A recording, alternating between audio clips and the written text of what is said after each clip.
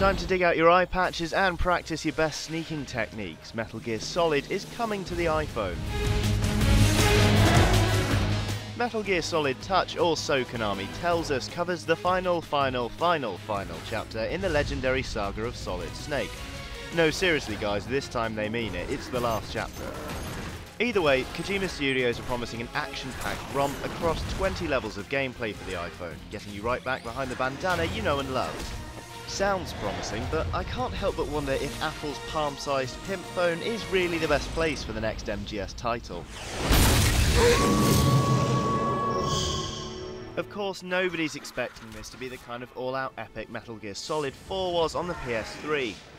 Konami are clearly pitching this one as no more than a bit of familiar fun for those in the need of a quick tactical espionage fix on the bus home. But is that really sensible? I'm all for expanding the Metal Gear universe, but they're also toying with something people are fiercely passionate about. Okay, so we've seen Metal Gear get squeezed into smaller devices before, and the iPhone is graphically very capable, but having all-touch control for something normally so tactical and precise is a big gamble that may not pay off. Either way, my point is when you mess around with franchises like Metal Gear Solid and get it wrong, it tends to upset a lot of people. While Metal Gear Solid Touch certainly looks interesting, the idea of condensing the entire universe into a point-to-shoot affair makes me frankly very nervous.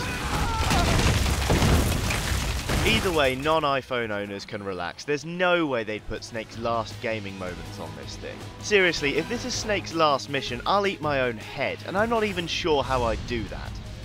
We'll be keeping an eye on this one in the coming weeks, so, you know, it doesn't sneak up on us. You sneak up on us, you get it? Solid Snake?